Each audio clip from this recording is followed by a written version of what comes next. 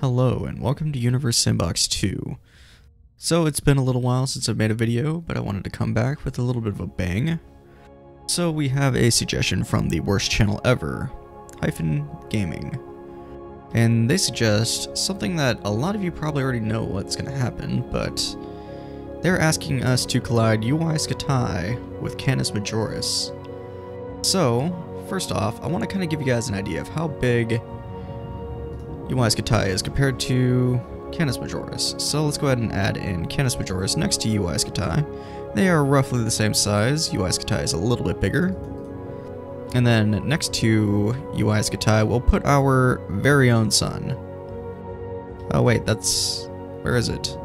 Where's the sun? Ah, Alright, there it is. Really, really, really tiny compared to these stars. And then, of course, it's not going to be very healthy here, but we'll put Earth right beside the Sun.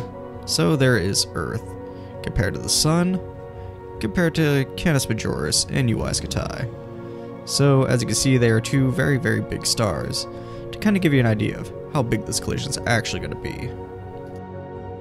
So without further ado, let's go ahead and jump right in, and let's launch Canis Majoris at UY. Let's choose a velocity of 100 meters per second go. So here's these two monster stars getting ready to collide. Let's go ahead and slow down time a little bit and let's hit play.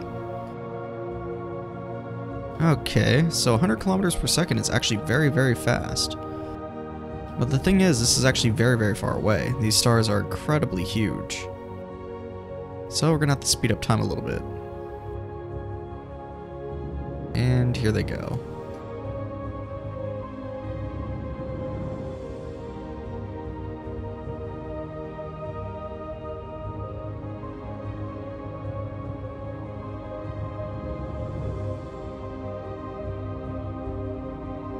This is three months per second.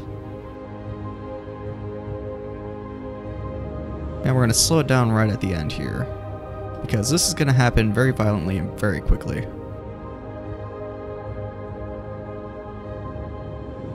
Whoa. Did you guys see that? UY Scuti, or Canis Majoris actually like launched straight downwards 90 degrees. Very interesting, but it looks like there was actually two supernova events that happened here between both stars. So, let's see what's left. So UY Scuti is still a large star, and Canis Majoris is also still a star, both nova remnants. Very interesting. You would have thought one of them would have turned into a black hole at least. Or at least like a neutron star or something, but it looks like that is what happened right there. Let's go ahead and, well, let's go ahead and zoom out and let these supernovas kind of expand. And these are going to last for a thousand years.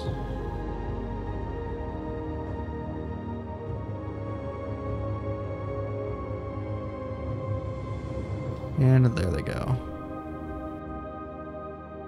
a few hundred thousand years actually, but let's go ahead and relaunch the simulation. We'll just place these two as still objects. We'll place Canis Majoris right here, and we'll just let these two kind of use their own gravity to fall into each other. Let's see what happens then. Keeping in mind that Canis Majoris is actually the more massive star, while UY Scuti is actually bigger star. Oh, and there goes UY Scuti, apparently. And the supernova has just been distorted and launched that way. Well, that was an interesting result as well. You can see the uh, collision mark there.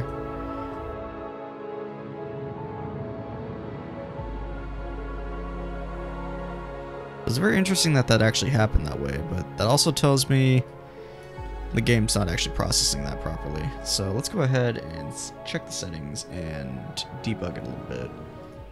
Interestingly enough, in older versions of the game, I've actually done very similar experiments to this. And typically, you would result with a black hole. In this case, not so much. For some reason, it wants to launch like 90 degrees off to the side. We'll launch UY Scuti at Canis Majoris at a velocity of 1500 kilometers per second, and just kind of witness what happens. Okay, so that was a little bit more what you would actually expect to happen. You at least got a supernova here. The resulting star there is still a nova remnant. I don't think there's any option to actually update the star, so this is some kind of crazy white dwarf, but the problem is I think it's still incredibly large if I'm right. In fact, if we put something like, um, where'd Polaris be? And Polaris. Ah, there it is. Putting something like Polaris beside the star, it's still really, really big, so there's no way that's actually like a white dwarf. But it's just called a nova remnant. Interesting. Let's go ahead and delete these particles and do one more experiment. Let's do R38A1, or R36A1 I mean.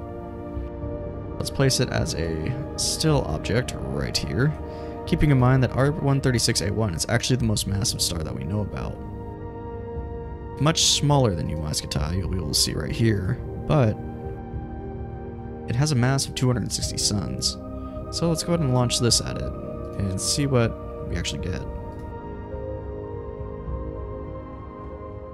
Okay, that's interesting, because this nova remnant is actually a black hole. So maybe Canis Majoris and UY Scuti won't make a black hole. If they were to ever actually collide, of course. But, there you go. That is what would happen if Canis Majoris collided with UY Scuti in Universe Sandbox 2. If you guys liked the video, please leave it a like, and if you want to see more videos like this, please do subscribe, it really does help, and I will see you guys in the next one.